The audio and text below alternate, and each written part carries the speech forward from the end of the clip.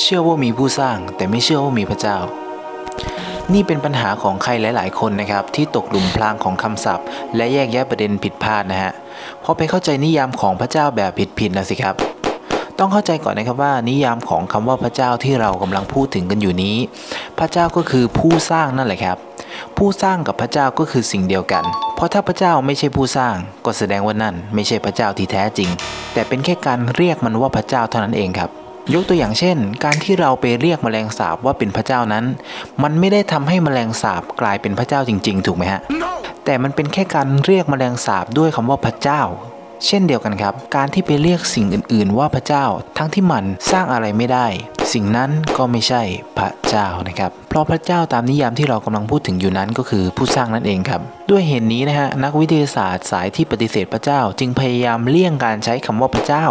แล้วเอานิยามของพระเจ้าไปยัดใส่กฎฟิสิกส์แทนไงล่ะครับ จึงมีในหมู่ของพวกเขาบางคนนะครับ เรียกกฎฟิสิกส์ว่าพระเจ้า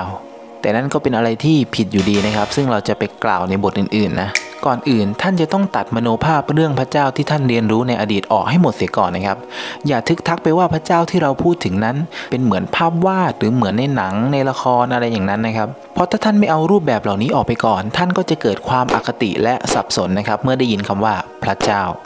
เพราะสื่อเหล่านั้นมันทำให้นิยามของพระเจ้านั้นผิดเพี้ยนไปนะครับ ดูตลกดูด้อยค่า ดูงมงายดูไร้เหตุผล การพิสูจน์พระเจ้าในขั้นแรก คือการพิสูจน์ว่าสรรพสิ่งในโลกนี้ในจักรวาลนนี้มีผู้สร้างมันไม่ได้เกิดขึ้นเอง มันต้องมีผู้ออกแบบมาอย่างเป็นระบบระเบียบ เมื่อท่านยอมรับว่ามีผู้สร้างแล้ว ขั้นต่อไป ท่านก็ต้องหาคำตอบนะครับว่า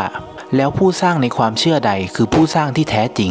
ซึ่งในประเด็นนั้นเนี่ยเดี๋ยวเราจะตอบกันในคลิปต่อๆไปนะครับผมสรุปเลยก็คือขั้นตอนของการพิสูจน์พระเจ้านั้น อันดับแรกคุณต้องตัดภาพมโนต่างๆ ที่